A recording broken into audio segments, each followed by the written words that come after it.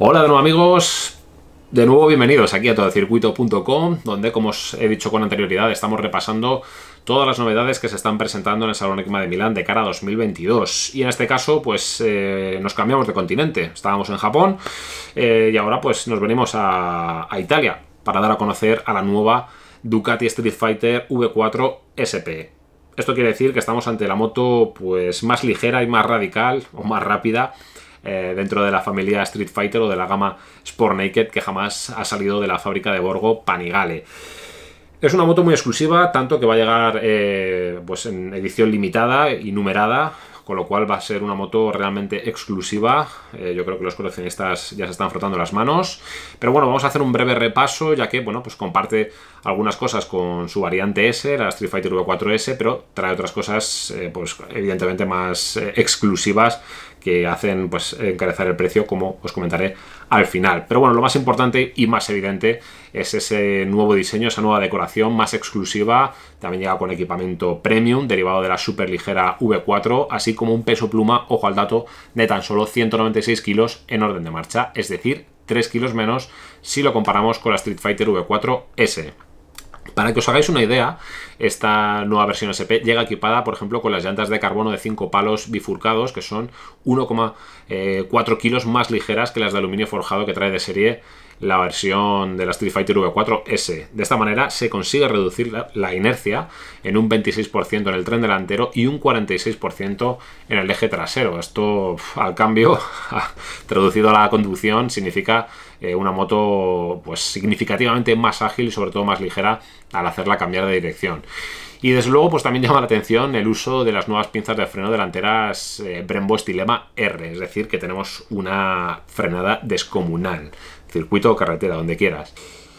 Y bueno, algunos aspectos que comparte con la Street Fighter V4S, pues eh, lo encontramos en la suspensión. Eh, cuenta con la horquilla Olins NX30, el amortiguador trasero TTX36 y el amortiguador de dirección también de la firma Olins, controlado por el sistema Smart EC 2.0 de segunda generación.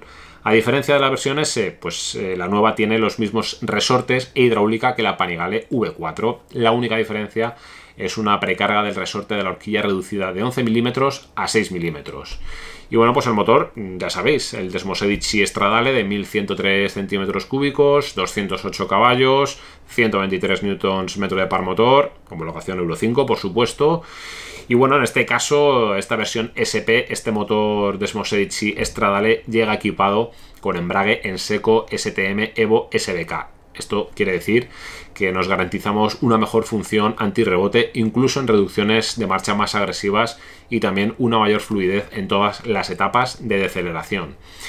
Su equipamiento en este caso se amplía, por ejemplo, con las estriberas ajustables de aluminio y mecanizado por CNC, guardabarros delantero de carbono, batería de ion litio y una gama de accesorios pues, adecuados o perfeccionados para eh, los track days, como por ejemplo la tapa de embrague de carbono abierta y los tapones para retirar el soporte de la matrícula.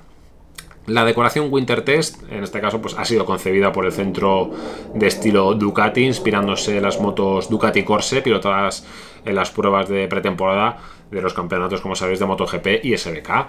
El negro mate de los carenados se combina con el acabado de carbono mate de las llantas y las alas contrastan eh, con detalles en rojo brillante y el depósito de aluminio pulido brillante. Y bueno, ya por último, eh, viene el susto, esta nueva Street Fighter V4 SP va a estar disponible a partir del mes de marzo de 2022, configuración monoplaza con decoración Winter Test, como os decía, por un precio ya confirmado en España de 34.990 euros. Esto quiere decir 8.500 euros por encima de la versión Street Fighter V4S. Ya os he dicho que es una moto que no iba a ser barata y mucho menos accesible a todos los bolsillos, pero desde luego es una moto espectacular. Bueno, nada más, nos vemos en el próximo vídeo. Hasta ahora.